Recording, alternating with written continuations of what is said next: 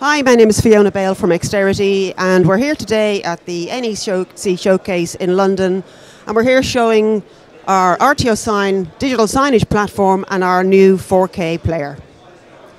So first of all, um, ArtioSign is being driven here by our Avedia player, um, and we also it's also supported on an LFD, and um, it supports social media like Twitter and Instagram, as you'll see, Transport for London, RSS, PowerPoint, PDFs, weather, and of course TV and video.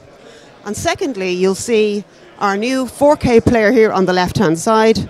That's driving the two screens on either side of the big screen.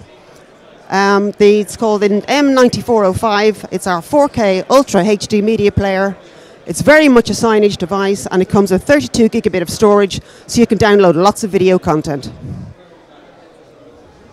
You can find out more at www.exterity.com. Thank you.